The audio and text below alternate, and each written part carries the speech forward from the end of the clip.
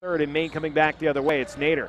Tried to look inside, too late to go that way, so he finds Jackson to the corner. Jalen Jones three ball is good, and we have a tie game at six. 30 to 19, largest lead of the night for the Sevens. Here's Jalen Jones, top of the key. He'll try the three, and that is good.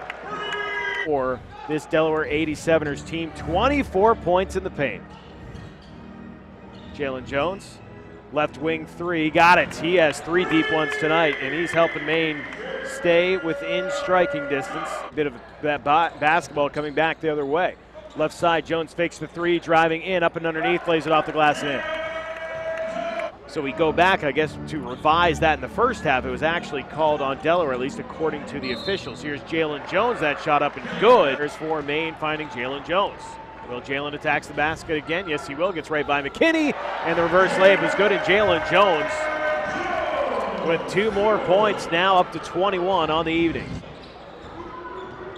We have the third Walker Lopez McKinney, and long in the game right now as it is Jalen Jones for the bucket for the 87ers.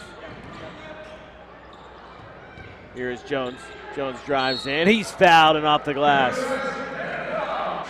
Now to go, 102-82 your score here is Jackson.